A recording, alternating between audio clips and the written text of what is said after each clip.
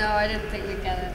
So I spoke to you earlier. You told me about the many great things you've been doing at the school. What sort of things did you come up with to help the environment? Uh, we banned all plastic bottles from being sold in the canteen and replaced them with cardboard cartons. And because your school was a fairly new school, you didn't even have recycling bins, did you? Uh, no, but we changed that and we got recycling bins in our school. And um, every tutor on a Thursday we'd go out and pick all the litter. And we did lots of assemblies to try and motivate students to um, recycle and like raise awareness of the effect that plastic's having on, a, on our planet. And your headmaster must really like you because he, he decided to ban selling of drinks, plastic bottles. So what have you replaced those with?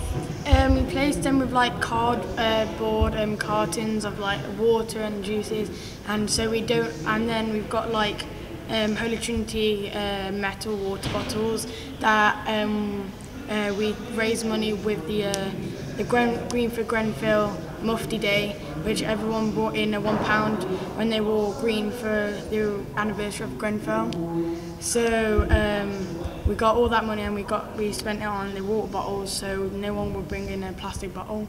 That's absolutely incredible. So what's next for you then? What are you going to do? You've got an award. It's absolutely amazing, isn't it? Where are you going to put that? In somewhere in the school? Have you decided? Um, I, there's like an award cabinet, so I'm kind of hoping it's going to go there. And Miss Simmons wants it to go in her classroom. Um, we're just really proud that we managed to get this award. What are you going to do? Are you going to do something else for the school to make sure you carry on, you know, with your recycling?